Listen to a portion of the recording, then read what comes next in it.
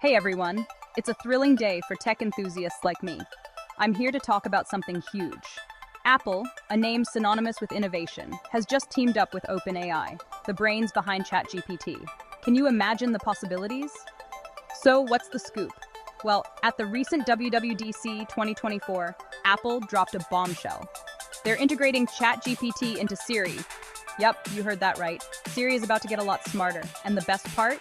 This will be available for free in iOS 18 and macOS Sequoia later this year. Now I know what you're thinking. Privacy, right? Apple and OpenAI reassure that user queries won't be logged.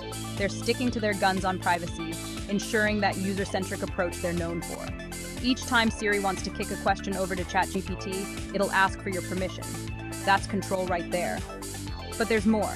For those who want the extra edge, paid ChatGPT subscribers can link their accounts to access premium features. This integration isn't just about answering your questions.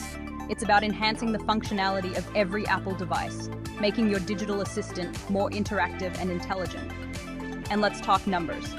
This deal isn't just a small step, it's a giant leap. With over 2 billion active Apple devices, the reach of OpenAI's technology is skyrocketing past its already impressive 180 million active users. We're talking major scale here. But here's a critical angle safety. Recent headlines have raised concerns about AI safety in the wake of this partnership. It's vital that as this technology becomes more integrated into our lives, the safety measures evolve just as rapidly.